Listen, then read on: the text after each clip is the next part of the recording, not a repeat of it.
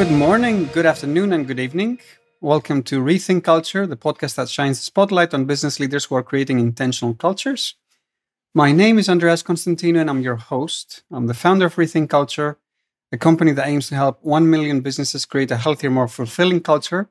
We just launched our culture health score that turns your culture into a KPI, and you can learn more at rethinkculture.co. Today, I have the pleasure of welcoming Jeff Hoffman, who's a successful entrepreneur, CEO, motivational speaker, Hollywood film producer, and he, as he tells me, he's also the producer of a Grammy winning jazz album. Very curious to learn more, and executive producer of an Emmy award winning television show. In his career, he's also founded multiple startups. He's best known as the uh, CEO of Priceline.com, um, that's today known as Booking.com, Ubid.com, and much, much more. And so, Jeff, with that long introduction, very welcome to the Rethink Culture podcast. Thank you. I am so excited to be here because uh, I am such a firm believer in the importance of culture. So I love that you do what you do. So, why is culture important to you? Why, why on earth? Why culture specifically? Sure. So, you know, looking back, to see uh, the businesses we launched that were successful, why they were successful, is for one simple reason because all the best people in our industry all wanted to work for us. And what draws, I always tell people the key to success is hiring, finding rock stars. And, and, and people tell me I can't afford to pay rock stars, they're expensive. And I have to tell them that stop hiring average people. Instead of spending your money on three employees who are average, spend all that money on that one expensive rock star who will outperform those three people. So then they say to me, How do you attract rock stars to work for your company? And the answer is culture. They can work anywhere they want. They care about the culture of the organization. What are your values? What do you stand for? What do you do with your profits and your success? What do you believe in? The rock stars don't just need a job, they want a place that will help them grow and experience and have impact. So, culture is the way you attract the rock stars in any industry. That's why it's so important. Were you always this intentional about culture? Did you have no. a eureka moment? Nope. I will tell you the eureka moment um, because uh, glad you asked that because I wasn't at all. Um, instinctively, or maybe even accidentally, I was, but I didn't know that. Here's what happened I was uh, sold a company and I was going on television because they were interviewing me. And on TV, they were asking me, they had our numbers, your profits and your margins and your sales and your revenues. Like, Mr. Hoffman, these are very impressive accomplishments. Which one of those are you most proud of? And I said, none of those. Because while I was driving to the TV station that day, the woman that ran HR for me called me all excited. And she said, Jeff, I just finished verifying something and I wanted to call and tell you right away. And I said, What is that? And she said, I just realized, proved, found out, verified that from the day you started this company through all those years until the day you sold the company, not one person that works for you has ever quit. And I wow. was like, well, that's the coolest thing I've ever done. And I don't know how. So I started calling people from the TV station.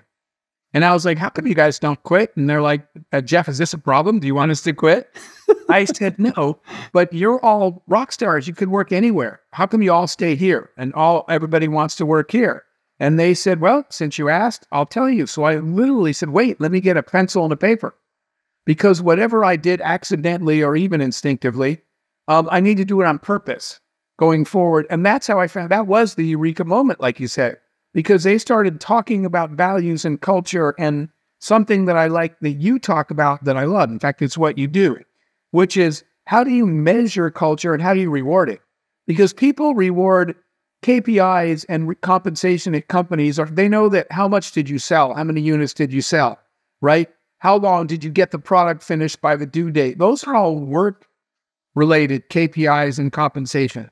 But having you measure and compensate people for demonstrating and living your culture? I didn't know any of that stuff. But my employees started telling me because the culture here is what we believe in, and we feel like we're at home in a tribe of people with shared beliefs. I was like, I had no idea that was so important to you. And they said, that's why we don't want to work somewhere else. So it was definitely a eureka moment. And going forward, I said, I need to make sure I'm always focused on creating an environment and a culture that makes you guys want to stay here. So, when you say culture, you talked about values. Um, you talked about measuring and rewarding culture fit. Which was one aspect of the culture of, let's say, Priceline or any other company that you were really proud of? Okay. That so, you think you did extremely well? Sure. So I, I think the thing that we did extremely well was uh, again, compensation is for you performing at your work. We, will stick with sales because that's easy. You have to sell a thousand units this year. You sold twelve hundred units of our product, so you got a you got great compensation, right? When we talk about KPIs, they're business objectives, and everybody knew that. But we started a program. In fact, uh, so you'll probably get a kick out of this story. Um, I, I came in one morning and everyone's like, and I said, why? And they pointed. One of my employees, Natalie, was face down sleeping in the office, clearly in the clothes she was wearing last night. So she'd stayed all night, obviously, and fallen asleep. The other interesting thing was that she was not sleeping at her own desk. She was sleeping at someone else's. And so uh, after a while, she woke up really embarrassed, right? She had like a keyboard on her forehead because she was face down. and she just ran out of the office. And I said, Don't come back, just go home and sleep. Uh, of course, being the employee she was, she took a nap, showered, and came back three hours later in the afternoon. But I asked, so I went and asked her, uh, What's going on? And she said, Well, she's an account manager. And she said, While I was at my desk, the account manager who works next to me was having trouble with a problem with her customer, not, not Natalie's customer, her teammate's customer. And she said at the end of the day, her teammate said to the customer, Hey, look, I'm a single mom. I have to pick my kids up at school. And the customer wasn't upset. The customer said, Thanks for spending so much time, you know, uh, um, working on this. I'll talk to you tomorrow. But Natalie got up and so part of our cultural thing is we're all in this together, right? And I talk about that a lot. Um, I talk about the fact that that um, with the we're only strong as our weakest link, and that we've got. We all succeed or win or lose together. We talk about these things as part of our value set and our culture. And so anyway, what happened was Natalie, after everybody left, stayed late, moved over to the other desk, called this customer. So I'm not your account manager, but I was listening today, and I have an idea. Turns out they stayed up all night. The customer wow. did too, with Natalie, not her customer, and they fixed the problem. So when I got into the office, I got a massively happy note from my customer. Your people are amazing. She's not even my account manager. Super happy customer who said, I'm going to tell everybody, I'm going to post this. Well, how great your company is. So that's a win. And Natalie, who doesn't even get compensated, her KPIs do not include that customer. But that's our culture. Let's all win or lose together, right? Let's do this together. So I went out and you asked me something that I did well. I'm sorry for the long story that I was proud of. I went out at lunch the next day and I went looking for a trophy shop. And all I could find was sports trophies. And, you know, they had football, they had baseball, basketball, none of those worked. But there was a Taekwondo trophy. The problem was all the rest were made out of metal. The Taekwondo one was this cheap plastic, gold colored plastic, $12. The worst thing in there, but I bought it anyway. And then I went back and when I got there, I went out on the floor and I told all my employees, I said, everybody stop working and come to Natalie's desk. And everyone's like, what's going on? And I had everybody gather around the desk. And I said, you all know what Natalie did the other night? And I told them. And our values, our, our, our, our culture, we have signs on the wall that talk about what our culture is and what we believe in. And I pointed at that one um, about winning together. And I said, that's one of the key tenets of our culture. And Natalie didn't just just believe it; she lived it last night. And I said, so uh, to show you how much we value our culture and and people living our culture, I took that little plastic statue, and I couldn't come up with it's Taekwondo. So what I did was I said, for Natalie's stealth in the middle of the night while you were sleeping, I'm now naming Natalie the first ever recipient of the company's Golden Ninja Award. And I put this little plastic trophy on her desk and I said, Natalie, you are now the owner of the Golden Ninja trophy. And everyone else was staring. And one of the people across the room said, How do I get that? And then it was on. I was like, you just need to do something that demonstrates that you are living the, our values and living our culture. So they'd never been compensated for culture before. And Bill, the guy that said that, pointed at Natalie and he goes, Don't get comfortable. And everybody started laughing. But they realized that if it's the boss, management, standing up and saying, Our culture is real and it matters, and recognizing an employee in front of their peers for a cultural accomplishment, which no one had ever seen before, that was a whole different thing. My employees loved it. That statue became competitive. Everybody wanted to win a culture award at our company. Um, and it just, you know, it was a little $12 idea I had, but it became a major thing in our company that let people know our culture actually matters. These aren't just posters. This is how we live. And it's something that you made up impromptu. Yes. Right? It's not, it wasn't a strategy. It was a spur of the moment. And it really touched the employees. Um, I mean, their their their their heart, I think, and and it, and resonated. I love that. Yes, really what made was, a difference, and it got people talking about culture, and it got people saying things like, "In the company I used to work for, they put posters on the wall, but no one really believed that stuff." Right. And they said, "In this company, clearly our values mean something to the people that own this company because of that happening." So it was it impacted the team a lot and i heard a lot of discussion about it what do you think separates the companies who just put values on a wall and those that actually live them you know i i think that that becomes like a little crack in the dam and what i mean of credibility what i mean by mm. that is employees start saying they just make these posters they don't even care right they're just trying to impress us and they don't even believe it mm. so what i mean by a crack in the dam is you got a little bit of leak in your credibility because the next time you say something, they're like, yeah, do they believe that too? Or are they just mm. trying to mm. make us feel better? So mm. they, they start to think that you say things because you think that's cool to say them, not because you believe in them. And so I was like that. Um, I only ever had one corporate job for a big corporate. And our management would say things and then they'd behave completely differently. And we so we started saying, what else are they telling us that they're just telling us now that right. we didn't know that we couldn't trust them? But we see them posting one thing and then doing another, and we're like, wait a minute, so what is true around here? So it, it starts to cause a credibility issue for everything you say mm. if people realize you just put that up as a poster and you don't even live that yourself. And very often, as a leader, you turn the blind eye. Yes. And you don't you don't just want to admit that. Exactly. You just don't following. even want to talk about it. Yeah. What was a moment where you learned the hard way, whether it um, is culture or something else that you know changed you as a leader, made you a better leader? So, uh, I guess learning the hard way. Uh, there have been a couple. Um, at one company, I uh, needed help. This was a startup that was growing, so I made somebody at the company a co-founder. He wasn't a partner. I made him a co-founder with me and made him a partner because I was doing the marketing, the out I was the outside person and he was the inside person. He was doing the technical development of the product and I was out there marketing and selling it and we were a good team. So I made him a co-founder and a 50-50 partner. And based on his work, not on a cultural assessment, which I didn't mm-hmm. do. And by making him a co-founder, he suddenly was in charge of half the company. And before he was just one of the company and I was in charge. I put him in charge of half the company.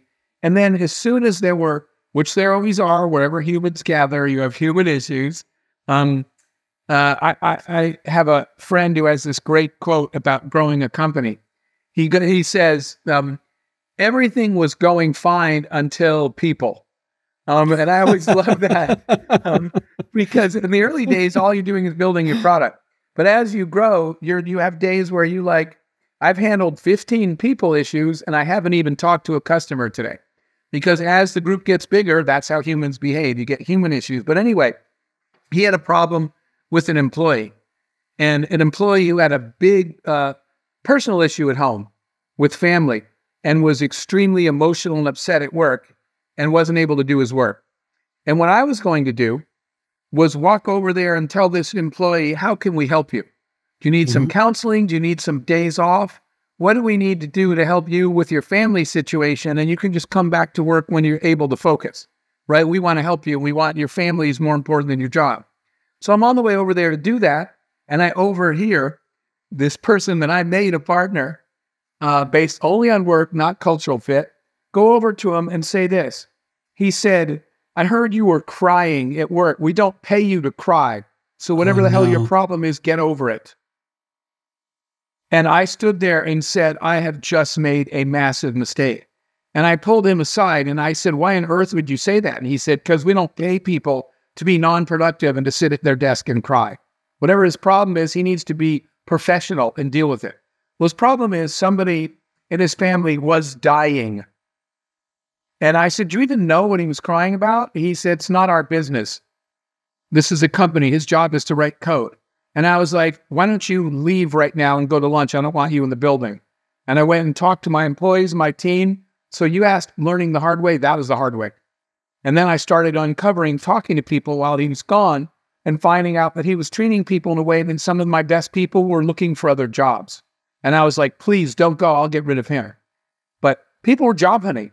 And I didn't even know any of that because their view was Jeff brought him in, so he must think this is okay. Major mistake, major learn the hard way, super hard to remove him from the company, and then to recover the damage that he did. I did not know that I should, well, I made the mistake of not doing a cultural assessment. I only did a skills assessment. Right. And the people we hire send messages about our standards. Yes. Exactly. We, and that's the mistake that I made.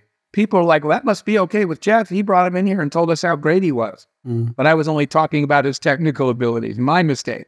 What is, uh, well, let me ask you a different question. How do you balance compassion with consequence or accountability? So, um, how do you balance high performance with really caring about people? Sure. I, I think that's a great question. And I, uh, in fact, really glad you brought that up. Let, let, me let me just share another story with you. Now that I'm retired and mentor leaders and CEOs, I call this one guy. He sends me a note. Can you give me a call? So I call him up. I go, Hey, John, and he goes, Jeff. Um, he said, Can I call you back? He said, I said, What's up? And he said, I have to go find something for John to do again. Sorry, for Jack to do again. And I said, John, every part of that sentence is wrong. And he said, Why? And I said, Find something for Jack to do again. I said, What's the story? He said, We hired him for sales and he didn't sell anything. So we moved him to marketing. And the sales team said all his marketing materials were wrong. He said, So I'm now going to go find something else for him to do. I said, Why? And he said, Compassion. He didn't use those words. He said, I love this guy. Mm-hmm. He's so nice. He's a friend of mine. Everybody likes him. Mm-hmm. I'll find something for him. So here's where you draw that line. I said to him that business is about results. And you don't even make it personal. You simply say, this job is, is this slot in the company, this job has to achieve the following list of results. We are currently not seeing these results, so we need to find somebody who can deliver the results. And what I told them is if you are finding things for people to do at your company because you like them, that's why you're not firing them, then you are not running a business. You are running an adult daycare center. You are running a center where people drop adults off and you create activities for them. It's an adult daycare center. A business is a place where every position has a list of deliverables. And if it doesn't deliver them, you can't work there. And so they said, What about compassion? Well, I will tell you this I have had many tears cried on my shoulder in my office, but I still fired them. I have cried many tears in my office because I love those people. And and I hate and I know it's going to be a problem. The difference is compassion is outside of the job. So, for example, people are always surprised when I tell them this. I twice, two times, I let employees live in my house for as long as they want and pay no rent and eat my food until they could find another job because I knew that when they when I fired them, they would be in financial trouble, but I still fired them. I'm not running a daycare center. I'm running a business. You can run a daycare center at your house.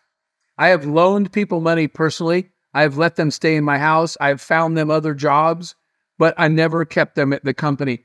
Compassion is something you do on your own outside of meaning that you always have compassion every day at work.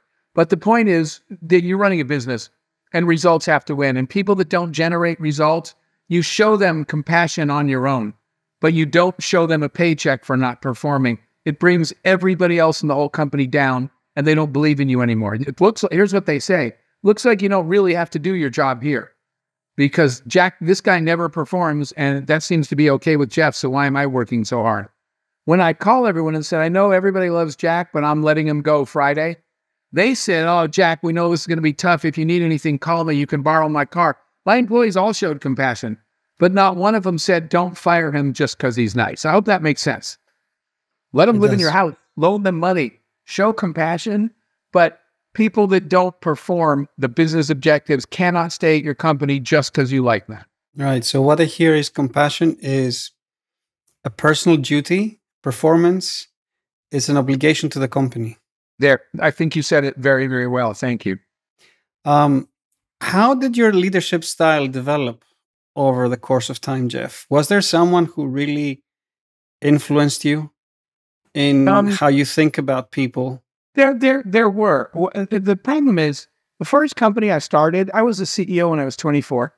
And this was the company where we were building the kiosks when you go to the airport and you check in at the check in kiosk. That was my first product.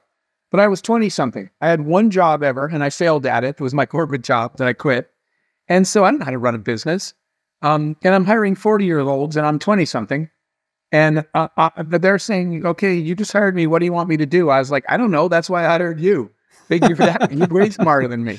Um, so I was drowning with the first company that I started. So I certainly didn't know anything about leadership. In fact, I had a funny moment. I'd only hired three people. So there were four of us at this kiosk company. And somebody, uh, one of the three people came running down the hall and he goes, Jeff, the other two employees are arguing and I think they're about to fight. You better get down here. So we're running down the hall and uh, to break up any potential physical fight. And my employee, when we're running, goes, Hey, boss, what are you going to do when we get there? And I stopped running and I said, I have no idea what I'm supposed to do when I get there. I said, I had no training for this, no experience. I don't know what I'm going to do. And I said, I hope they figured it out before I get there because I have no clue. And that's when I started realizing I don't know what leadership is.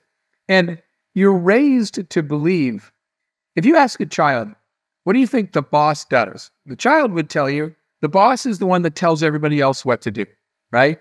That's what we think leadership is. But what I learned is that real leaders don't create followers at all. Real leaders create other leaders. I didn't have success by telling people what to do and being in charge. I had success when I started saying, I don't really know what I'm doing. So I am going to go find people smarter than me. Then I'm going to hire those people. Then I'm going to just do what I need to do to make sure they're happy there. Then I'm going to get out of the way. So I've only ever written one book uh, with a friend of mine, David Finkel. We wrote a book called Scale. And the, uh, pretty much page one says, You're never going to scale your business till you get out of the way. And you can't get out of the way until you can trust and empower people to do things without your permission, right? Outside of you. And you can't trust and empower until you're surrounded by people smarter than you. So, what I evolved to was instead of running the business, I evolved to leaving the office to go find people smarter than me and then letting them run the business. Now I have CEOs that I say, why don't you just let her do that? And they'll say, uh, well, she's not going to do it. I started this company. It's my idea, right? I'm the CEO, I'm the founder. No one's going to do it the way I do it. And my answer is right. She might do it better than the way you do it. So step back and let other people grow. Until you can do that, uh, you don't scale. We didn't grow until we started letting go. And I learned that in an evolutionary way. No one told me that, which is why, by the way, I do things like this, right? Joining your podcast or the mentoring I do because when I was there, I was saying, I, I, wish somebody that knew how to do this would tell me what I'm supposed to do. So then I thought, well, later, if I figure it out and learn how to do it, then I should, I know what it feels like, right? So I should try to share what I've learned, which is what you and I are doing today.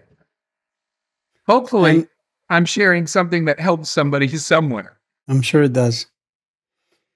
The, the notion that often troubles me is that we still use the term resources for people, human resources. And so this industry is still alive and kicking, and events are still called HR events.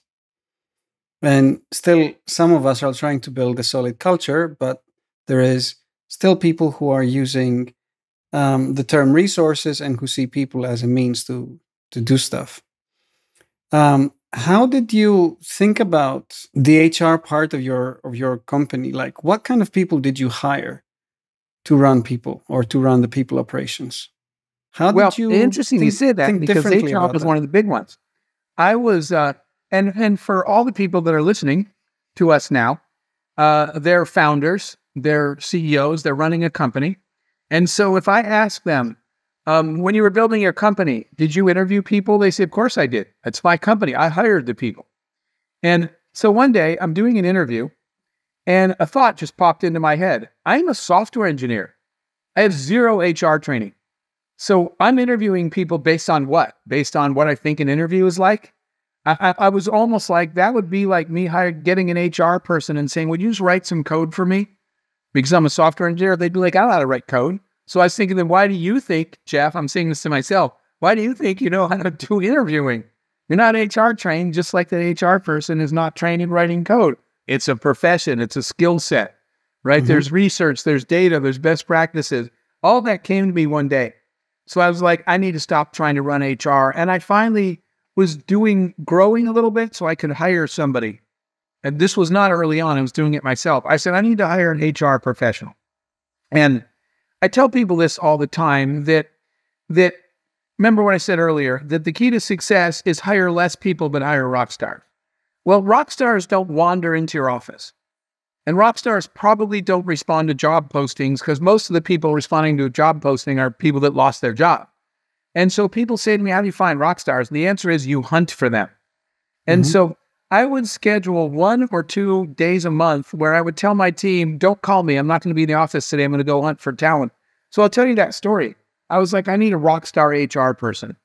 And so I started calling people and saying, uh, Do you know anybody in HR? And people would give me a friend's number. And I would say, Where do HR people hang out? And people kept in the United States telling me this word, SHRM. And I was like, I don't know what that is. So I looked it up. It's this it's an acronym, not a word. It's the Society for Human Resource Managers. So I went to the website, and on the website, it said, don't forget to sign up for the annual Human Resource Executive Conference. So I signed up for the conference. And when I went to this conference, there were, like, everybody had a green badge because green means you work in HR. Mine was red. And I'm walking around, there's like a thousand people. And they're like, why's your badge red? And I said, because I don't work in HR. And they're like, then why would you come to this conference? And I said, they said, what are you doing here? And I said, well, I'm pretty much shooting fish in a barrel because there's a thousand of you and one of me, and I need someone to do HR. And people kind of laughed. And that's how I found my HR person. I went to their conference, not my office. I didn't post a job. I started meeting people. And my short list when you go to a conference, who are the speakers at a conference? The industry experts. Mm-hmm. So I just circled the small number of speakers at the conference from the thousand people, and I went and found those people after they spoke. Um, and I wound up basically talking this woman, Angela, into leaving her job and coming with me by giving her equity, which she didn't have at the big company she worked for, which you can give a startup. Angela ran my HR for the next four years. So I went out and hunted someone down who was really good at their job. And I had to give up some equity to get her. But the difference is the value of my company went up because she did the job way better than I did it. She increased and improved our talent ac- acquisition and retention. Go find, hunt for talent is the is the story that I'm telling. And do you find there's a difference um, between people who think about culture versus people who think about HR? I see there's two different worlds, and I don't know if you have the same view. I think they are two you know? different worlds, and they and they most definitely have to work together. I think what we were successful at is that we had uh, people doing both. We had Angela and a professional HR team, but we had a culture committee at my company, mm. and Angela from HR was on the culture committee. So it wasn't a side job of HR to do culture. Culture was its own thing. We had a culture committee with volunteers from sales, from accounting, uh, from product development but HR was on that team too. So we made culture a company wide responsibility that HR helped implement. I totally was, agree with you. What, what was the culture committee doing? Like, it sounds an interesting concept. What was it responsible for? Their, their job was to, on a regular basis, recurring basis, survey our workforce and ask them several questions. What things are we as a company doing that you don't like? Our goal is this. You, you, and, and I tell founders this all the time.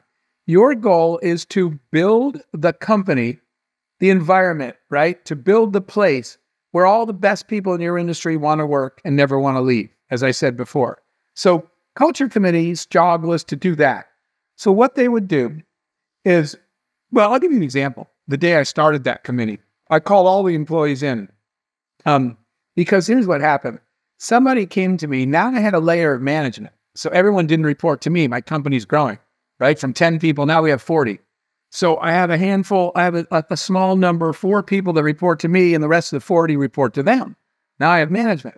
One of my managers comes in and says, Jeff, I don't want you to handle this. I'm going to handle this situation I have with one of my direct reports, one of my employees. And he said, but I'm a little unsure what to do next. And I said, So what do you need? He said, I just came in to get a copy of our employee policy manual.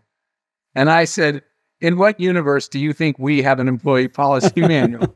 and he said, Well, my, all my other companies I've worked for, you worked for corporations before. And I said, But conceptually, your point is good. So I said, Do me a favor, stop all employees and send them to the conference room. So all 40 people in the conference room. And I'll tell you what I told them to do. I said, take out a sheet of paper and draw a line down the middle. Everyone's staring at me. And I said, on the left, I want you to make a, the following list. I want you to write down any behavior or action that any company or manager ever did to you at any other job that made you feel disrespected, made you feel undervalued, made you hate your job, made you quit your job. Write down all the things that other companies did that, that you hated, you didn't like, and you felt disrespected. Write that down. I said, now on the right side, I gave him some time. I said, write the opposite. What is anything that any management you've ever worked for did that made you feel valued and respected and love your job and can't wait to work, come to work tomorrow? And then I gave everybody like a pushpin. And they said, What is this? I said, That thing you just wrote is our new employee policy manual. Stick it on the wall. and so those were all over the wall. And I said, if I ever see you do anything that you wrote down on the left side, you're out of here. You're fired because you told me you hated it. So why would you treat anyone else that way? And I said, and at least once a month, I want you to look at the things you wrote on the right and go do that thing for some other employee. Um, and so that was the start of a culture. How do we treat each other every day? What is okay? What is not? What do we love? What do we hate? And so our culture committee was job was to take that a level deeper. Um, uh, I'll, I'll give you an example and then I'll stop. There was one of the things I noticed that I had multiple single mothers that worked for me. And one of the things they put on the left side of their paper was if they were a little stressed because their they were single moms, they had to leave their child at daycare at somebody else's house. And so sometimes they would call and just check on their kid. They would call the daycare because they were a little worried about it. And their management frowned upon that. What are you doing? I'm just calling daycare. Well, we're not paying you to babysit your own child. And several of them wrote that I'm stressed out because I feel like I'm committing a crime when I'm checking on my kid in daycare, but I, I can't fully function until I know my child's okay. So that was one of our culture things. And the culture committee came back and they said, Jeff, we want to set up a long term goal. I said, what? And they said, we want to add a room like take a conference room and turn it into a daycare center mm-hmm. and and hire people in the building and let our single moms have a daycare center in this building where their kids are that when they need a little break or at lunch they can go check on their kids and see them and they said that would make people love this place even that much more. And so we set that as a goal. And we set aside money every time we got paid as a company. A little bit of money went into the daycare fund until we built the daycare center. The culture committee came up with that idea by talking to the employees and saying what would make this an even better place to work. Another similar idea I've heard is asking staff staff to come up with a cool behaviors and the not cool behaviors and creating lists of those. and in stating those as the value of the company. Yep. That that uh, I did that just kind of on the fly as well, but it uh, it worked. so now you spend a lot of your time, if not most of your time, coaching and mentoring entrepreneurs. How would you mentor someone or help someone build a culture? How would you guide them to build a strong culture? Um, two ways. Uh, one is I would tell them to uh, to research best practices, right? Um, ask around companies that have you know companies that have the lowest turnover, companies that have the highest employee. For example, in the U.S., um, there is the Forbes list of best companies to work for, as voted mm-hmm. by employees. One mm-hmm. of the CEOs that I was mentoring, his company wound up becoming winning. We we did everything I just talked you through, but I did that with him and his company. They wound up becoming uh, one of the rate, getting rated the best one of the best companies to work for in their state.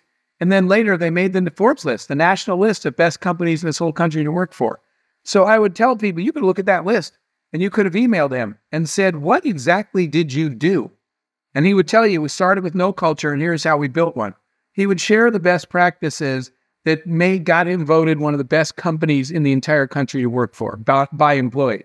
So best practices is one thing. Find out who's doing it well and ask them how did they do that. And then the second one is what we just discussed. Uh, ask your employees straight up. What do you like about working here? What do you like about working anywhere? What do you not like? And and make that list. Well, I was amazed when I asked employees they said, Can you give me a minute? Because no company I've worked for has ever asked me that before. And I was like, What? And they said, I've never been in a company where management said, How do I make this the best place you've ever worked? So they said, Let me think about it because I've never been asked that question before. And I realized, not that I had that many jobs, but I never had. I never had the owners of the company come to me and say, We want you to love working for us. What do we have to do? So when I asked that, people said, I need time to think about it. Um, ask your employees if you could help leaders who are not intentional about their culture how to rethink about culture what would you tell them? Wait, why, say, why, say, is, why is culture important? I mean you talked about um, the superstars but why you know besides that why is culture important? Why, why do we need to care about people in our business? Because it it uh, reflects on your entire brand one of the cultural things we had was um, uh, people before profits, right? People talk about that a lot now, but we did that long before that was long ago. Um, and uh, we had situations where we made mistakes in business, violated a contract. This is a real story. Customer called oh. us and said, "You violated the contract, and technically, you just lost our business, and we're, we we have to cancel our contract." And they said, "But my th- this was a CFO. He said all my employees tell me that none of our vendors treat us the way you guys do. Your human focus and the way you take care of us and talk to us and listen to us is so much hands and shoulders, head and shoulders above everybody else out there that even though you violated the contract, we're not only gonna, not going to cancel it, but we want to renew the contract for three more years. And I said, wait a minute, how did I make a mistake and get a new contract? And he said, because the mistake caused us to have a committee meeting. And at the committee, the first time I said, What do you think of Jeff's company? And he said, I was blown away by all the stories of your employees focusing on us as people before profits. Times that he said people told stories of times that we as the customer were wrong and your people knew we were wrong and told us we were wrong, but you still refunded our money or whatever it was. And he said, when I heard all these stories of the way you run your business, the way you've been treating my employees, my employees were like, please never get rid of that company as a vendor. And so that's why it's a glow, it, it glows positively or negatively on your brand. And some of the customers that reached out to me said, I heard from this company that I just told you about. He said, We heard them talking about you guys. So you we didn't even you didn't even send us a proposal. We've just heard so many good stories about your company that we that we'd like to sign a deal with you. So that's the other reason to care about culture. Besides attracting people, it, it creates a personality for your brand that resonates in the market. And as we close, Jeff, what are some of the things you're really passionate about today, and how can people learn more about you? Um, today, uh, I am uh, my my single biggest focus is youth. Just came back from an event we held in Europe, um, where uh, we have teenagers around the world and creative kids that are not heroes because they're not athletes. Right in school, the sports star, the football player is the star. And we wanted to create a similar a- a- opportunity for creative kids. So um, this thing is called Junk Kouture. And they compete, kids from around the world compete live on stage, and they have to make clothing out of trash and dress a model in it. And we just came back from the world finals of that. And I spent time with all the, the teenagers, the kids from around the world that made the finals. Um, to see these creative kids have a chance to be themselves and not feel like misfits and be the stars on the stage, not the football players, was absolutely a phenomenal experience. So for me, I spend most of my personal time now working with youth and trying to convince them to go pursue their own passions and to design their own path in life, not take the one everyone's telling them they have to take.